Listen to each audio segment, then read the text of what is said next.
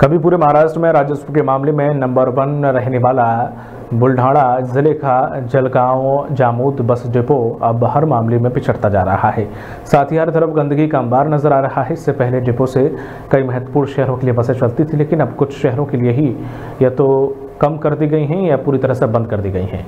इससे यात्रियों को खासी परेशानी होती है।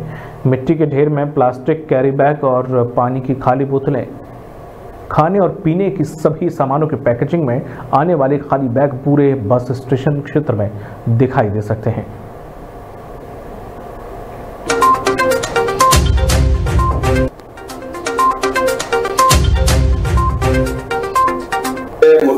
पाणी आहे संडासचं पाणी आहे ते पूर्ण रस्त्यावर वाहून राहिलं तिकडून येताना दुर्गंधी एवढी होऊन राहिली। तर. ऐका ना सर संडाचं कसं आहे माहिती का ते एक प्रायव्हेट संस्था आहे त्या. आम्ही त्यांना सांगितले की तुम्ही स्वच्छता पण ठेवा त्याची स्वच्छता कुठल्याच प्रकारची नाहीये साहेब हो ना त्याच्यामध्ये स्वच्छ तुम्ही जर बघितलं त्याच्यामध्ये कुठल्याच प्रकारची स्वच्छता नाहीये. झाडं झुडपं एवढे आहेत